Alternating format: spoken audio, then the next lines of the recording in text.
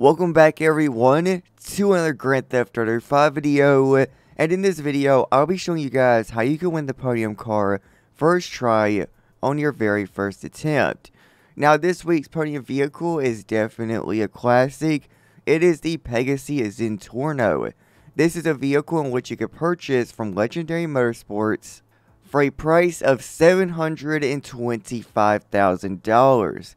Now, if you guys, because this was released during uh GTA Online's release, this was actually in story mode too. This vehicle, if you had this, you had money in the game.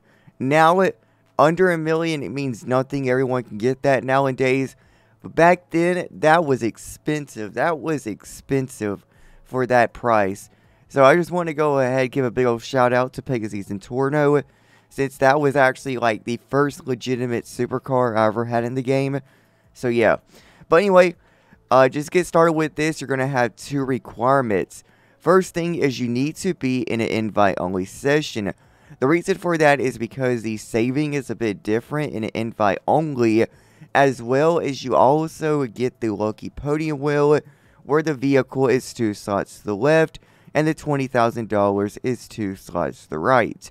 If you guys were to be in a public session, there's a good chance that someone's already spun the wheel, so it's going to be in a whole different place. So you just want to make sure to stick to an invite-only session just for, you know, safety precautions. And now the next thing you're going to need, which is actually going to make this trick way easier, is a controller. Now, if you guys ever use a controller, if you have a joystick, you can actually adjust how fast or how slow to spin the wheel. Unlike on keyboard, where you can only press a key and you only have one certain speed they go to it. So make sure you have a controller for this. And that is really the only requirements in order to get started. Now, for I actually show you the full demonstration of it, first, let's go ahead and tell you our sponsor for today's video.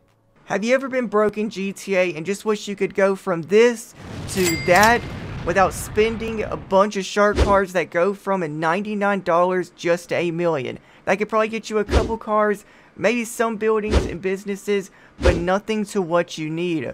Luckily, we have OP Modz. OP Modz is a GTA 5 money account and services website that's basically really trustworthy. Not only do they actually show their proof of work and have a 5-star rating on Trustpilot, but they're also a lot cheaper than the other GTA 5 competitors. And you can even use code discount LIGIIT for a 5% discount on all your purchases. Thank you, and back to the video. Alright, so you can see here on the bottom right hand corner, we have the view of a PlayStation 5 controller. Like I said, any controller works as long as it has a joystick on it. So what I like to do, everyone has a different trick for this, but I like to wait until the character actually puts his hand on the wheel, and then right whenever you see that, you want to count to a 3 Mississippi, or 3 seconds.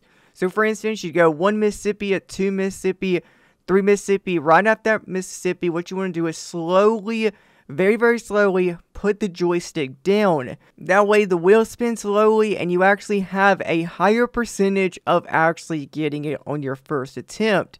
Now, for some reason, if you don't do that, which is totally normal and that is fine, all you want to do is force close the game out on either the PlayStation, Xbox, and PC works. But instead for PC, you have to use the task manager for it. And that is the entire trick to it. Very easy to do, and there you guys go. So hopefully you guys have found this video helpful. If you did, feel free to like and subscribe for more GTA 5 videos and content like this. With that being said, you guys have a great one. Stay safe out there, and goodbye.